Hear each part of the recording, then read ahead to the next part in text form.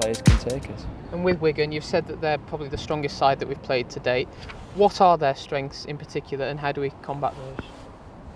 If you can find someone for the second part, you can get them to give me a call. Um, for the first, they've got a bit of everything. I, I like them because I think they play good football, but they mix it, can mix it up.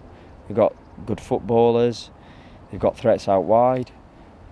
They like to sort of pass the ball, but then if they want to throw across in the box, they've got two lads that are a, a good size uh, in there. One that we obviously know well, um, that was here, Ivan.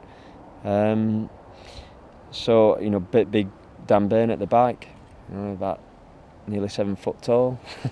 um, so it's tough to really, you know, see on a serious note, it's tough to find anything that's really, you know, certainly not glaringly obvious. There's one or two slight things that we've noticed, but we've got to try and upset them. You know, it's no point. Um, I'm not going to shy away from the fact of selling the players. They're a good side. I think in general it's pretty obvious. They've just come down. You'd expect them to be good. Um, and you look at the team sheet, and they've got some good players. I think even the most um, uninterested footballer in terms of looking at football would recognise quite a few uh, their lineup.